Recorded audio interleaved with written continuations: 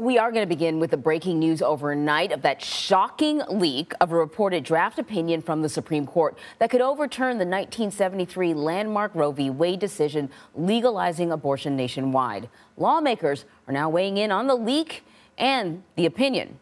The top Democrat, top rather congressional Democrats, uh, House Speaker Nancy Pelosi and Chuck Schumer, issuing a statement saying that if the report is true, quote, the Supreme Court is poised to inflict the greatest restriction of rights in the past 50 years. GOP lawmakers have also weighed in, with Missouri Senator Josh Hawley, who has urged the court to overturn Roe v. Wade, calling the leak a quote unprecedented breach of confidentiality clearly meant to intimidate.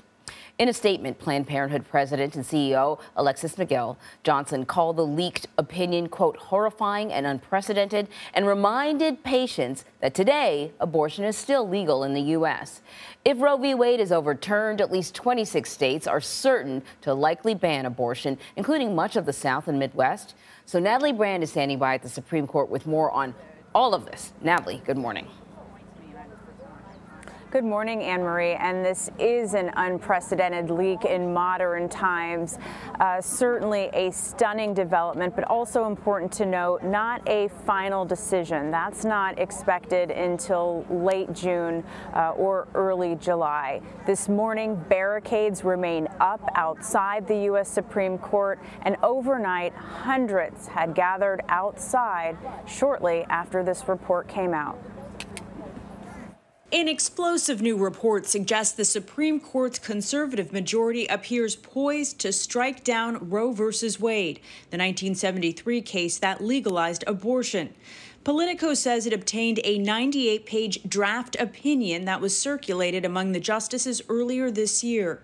The court's opinion is not official until published, and it's unclear if this is the final version. The draft is in response to a case about Mississippi's law, which bans most abortions after 15 weeks. The ruling is expected by July.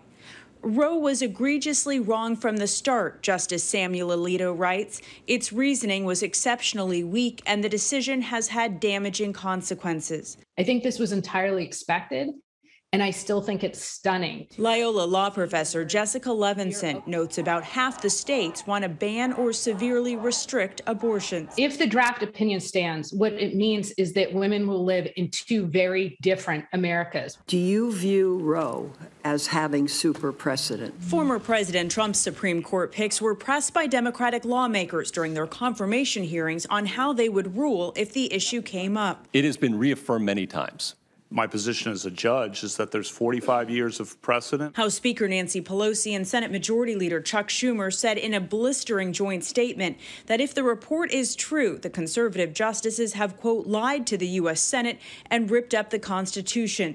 Republicans, meanwhile, praised the possibility that Roe will be overturned. Texas Senator Ted Cruz calling it a massive victory for life. Hundreds of supporters and opponents of abortion rights clashed outside the Supreme Court overnight, a preview of the state by state fight that may lie ahead for both sides. Now, according to the Politico reporting, five of the Republican appointed justices agree with this draft opinion. It's unclear how Chief Justice John Roberts will ultimately vote. And it's also really important to note, Anne Marie, that justices can change their votes, change their minds in the days or weeks leading up to the release of the final decision. So I have a quick question before uh, we let you go. Set the scene for us. What is it like outside of the Supreme Court? What's it like when you arrived, and what's it like now? Well, things have calmed down considerably, but it's still early this morning. Uh, the barricade's still up. Right now, we see just about a couple, maybe three demonstrators standing up uh, in front of the Supreme Court. Much different scene as you saw from that video overnight when hundreds at one point had gathered out here, and at times there were some clashes between people on, on the two different sides of uh, this issue. Uh, by early morning, when I arrived around uh, 3 a.m. Uh, there was a kind of a the the end of a candlelight vigil. Uh, a few protesters remained, and candles lined the barricade in front of the Supreme Court. Uh, that was cleaned up overnight by some workers who were also spending time uh, spraying off, wiping down graffiti that had been painted on the sidewalk uh, overnight. Obviously, tensions extremely high uh, late last night the night and I am sure the crowds will uh, return today as they continue to make their voices heard as the reaction to this continues to pour in, Anne Marie. Yeah, it's uh, only just begun. Natalie, thank you very much.